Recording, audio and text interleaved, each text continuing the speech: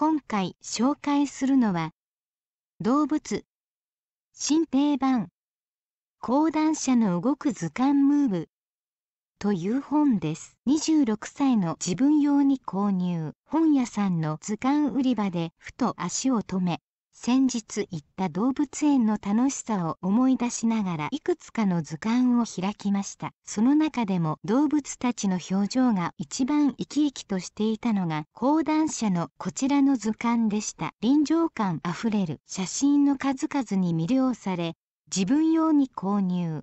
写真の配置型の図鑑に比べ優れていて1ページ開くごとにとてもワクワクします。また動物たちの体の特徴をズームアップした写真とともに見られます。例えばゴリラなら手足目鼻口の中、耳をじっくり観察できます。我が家には昆虫含めた生き物図鑑はありますが大人になってからパラッと開くと虫が出てきて驚いてしまい残念ながら開かなくなってしまいました。こちらは動物に特化した図鑑なのでその点は安心。監修者である京都大学総長の山際俊一さんはゴリラ研究の第一人者です。帯にもあるように最新の分類学が採用されていることも信頼できます。お子さんはもちろん同物好きな大人にもおすすめです。大迫力の写真、実際に書店でいくつかの図鑑を見てこちらに決めました。決め手は躍動感あふれる大迫力の写真の数々、2歳になったばかりの息子は